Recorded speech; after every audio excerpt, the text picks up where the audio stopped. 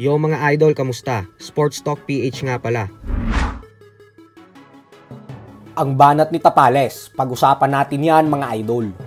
Ngunit bago ang lahat ay huwag kakalimutang mag-subscribe at i-click ang notification bell button for more sports talk.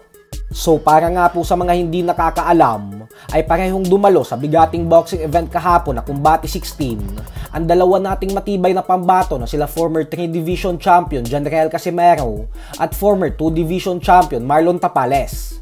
Subalit bagamat nga po hindi nagkaroon ng pagkakataon na magharap ang dalawa sa nasabing event, ay tila muli nga pong bumanat si Tapales sa angas ng Pinas. Ito po ay dahil matapos ma-interview si Tapales kahapon sa backstage kung saan natanong na naman ito patungkol kay Casimero, ay muli po nitong sinabi na hindi niya daw talaga kilala si Casimero. Ganun pa man ay hindi pa naman nga po sumasagot si Casimero dito at kasalukuyang tahimik sa social media. Bukod dyan ay wala din pong nangyaring announcement sa event kahapon patungkol sa susunod na laban ni Casimero. May mga usap-usapan po kasing lumabas sa social media na pagkatapos daw ng laban ni Araneta at Magramo ay iaanunsyo na ang next fight ng Angas ng Pinas pero haka-haka lang po talaga ang mga usapin na ito dahil wala namang pasabog na nangyari. Matatandaan natin na napurnada po ang dapat na world title eliminator fight ni Casimero kontra sa former WBA Super Bantamweight World Champion TJ Doheny. Gawa ng bata pala ito ni Sean Gibbons. At dahil sa naging patutsyada ni Jason Casimero kay Gibbons, kaya naman napikon si Gibbons at pinull out si Doheny upang mawalan ng laban si Casimero.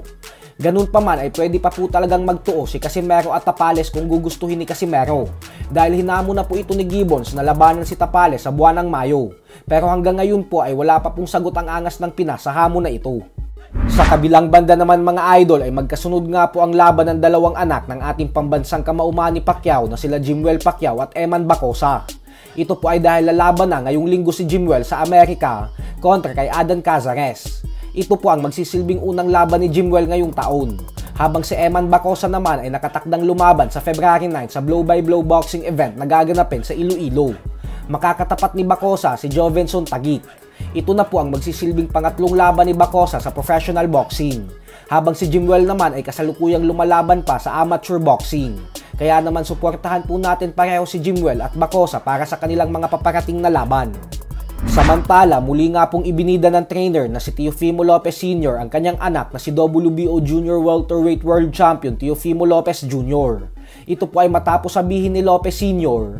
na bagamat madaming talentadong boksingero ngayon sa 140 pound division, ay walang duda umano na ang kanyang anak pa din ang numero 1 at totoong hari sa timbang na ito. Bagay na may punto naman dahil si Lopez ang tumalo sa dating hari ng dibisyon at former undisputed champion Josh Taylor. Kaya naman kailangan siyang talunin ng ibang mga kampyon ng dibisyon kung gusto nilang mapalitan si Lopez sa tronong pinang-uupuan nito ngayon.